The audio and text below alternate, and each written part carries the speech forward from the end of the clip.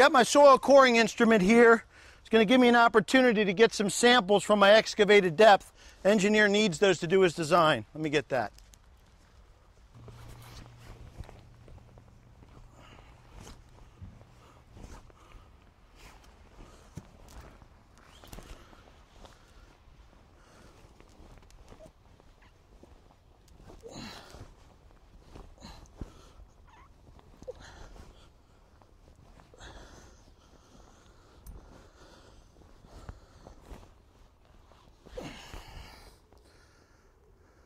Okay, I got a good sandy soil here. You can see how easy it is to dig, how coarse it is between my fingers.